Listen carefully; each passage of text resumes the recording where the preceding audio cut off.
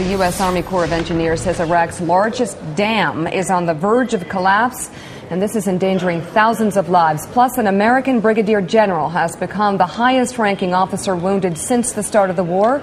NBC's Tom Aspell joins us live from Baghdad with the latest on both these stories. Tom, good morning.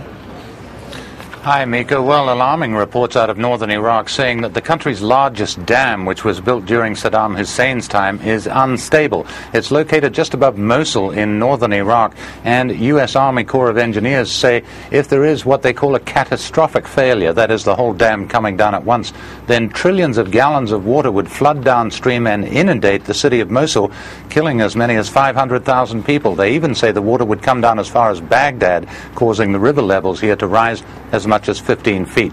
Now, engineers say they are taking measures. They've spent $27 million uh, in a process they call grouting, which is putting liquid cement and other materials into the base of the dam to try and hold it up. They also want to build another dam further downstream to take off a little pressure from the water up there. But the Iraqi government says no, it doesn't believe the dam is in danger of collapse, and there's a bit of bickering going on between American and Iraqi authorities.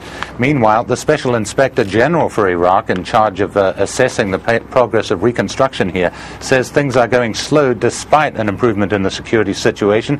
He says electricity supplies are reaching only 60% of the people, that unemployment is at 40%, and that the factories and manufacturing plants in Iraq are operating only at 30% of capacity. That's below, well below pre-war levels. Also, oil production is well below pre-war levels.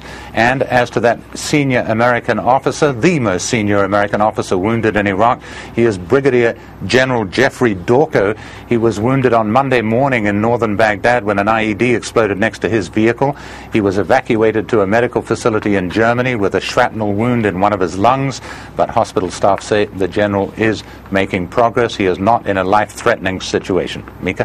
NBC's Tom Aspell in Baghdad. Thank you.